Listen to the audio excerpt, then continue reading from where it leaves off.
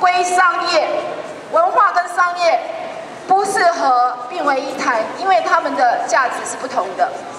第二点就是，我们希望文化局能够广办公民参与的论坛，好好的来深入的讨论文化资产各个议题的面向。第三个，我们希望新的市长要尽快的召开与现在我们非常积极在运作整合的文资团体召开联席会议，对从市长的高度。期待各个局处对各个文资议题守护团体详加了解，并且一一的表态，你到底是要保存还是你要开发？第四个是在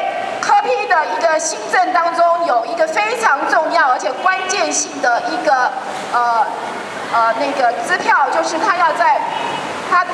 预计他的八。年的任内要盖五万间的社宅，那这个五万间的社宅，它目的是为了解决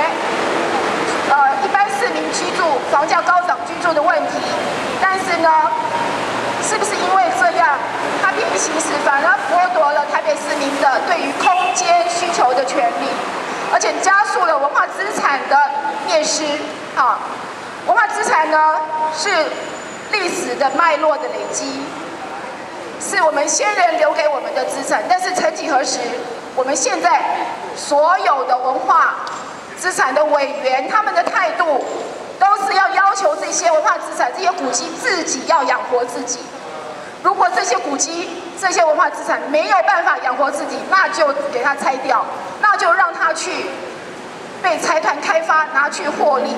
啊，这个是我们对面对文化资产的态度吗？一般市民。财团这样想还好，但是连我们的文化资产的委员、审议委员当中的人，也都是大大的、大有抱这样子的态度的委员。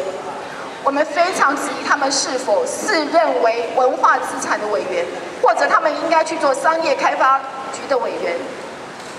科批新政这个八年的五万户的支票，哈，他为了抢抢快，他为了要。便于行事，让他很容易把这个五万户的社宅盖起来，所以他有空地就抢，有空地就抢。很不幸的，这些空地现在不是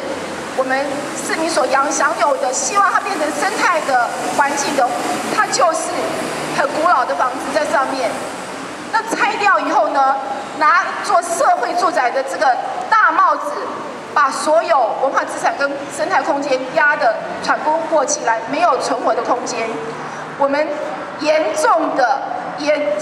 呃强烈的要求科比，你应该要把现在台北市那么多的空屋余屋拿出来解决社宅的问题，而不是在所有你拿得到的、踩得到的、看得到的空地上面，你就一座一座的去把它盖起来，盖出来这些庞然的水泥大物，它不光是造成了我们更大的社会空间、交通。呃，下水道各种的问题，它完全没有解决我们社宅的问题，因为它还是会非常的昂贵。好，我们要求这个社宅，请都发局，呃，各个局处好好的思考，怎么样用空屋余屋去解决社宅，而不是去新盖。那么以北京建设来说呢，呃，之前的那个。局长呢，他的开发引进了很多的餐厅。现在的局长呢，他适度的挡下来，所以呢，这一点我们是要呃予予呃肯定哈。但是呢，我们因为有一部很烂的文化法、文化资产法，像个花瓶一样搁在那边，没有管它，没有人理它。因此，就像前面呃北厂一样，其他的团体一样，你已经成为古迹的，你还是会被解编啊，你已经被认定的，你还是会被。改掉，是我们必须不断的、不断的一直在这边抗争，一直在这边保存。这是一个什么样的文化资产法？哦，那么，呃，我们在甚至也都北京建设也都写了保存文物计划，但是没有人去执执行，去落实，所以整个美军建设现况是接近崩盘，所有的呃大块的区块通通被财团进驻，上市公司。啊，港资、陆资通通进入美军建设了。好，那这个也不是文化局的问题，这个台银也束手无策，这个是我们整体的法规的问题。那我希望这件事情呢，在科批跟我们面对文化资产守护团体的时候，要拿出来好好的讨论。最后一点，就是，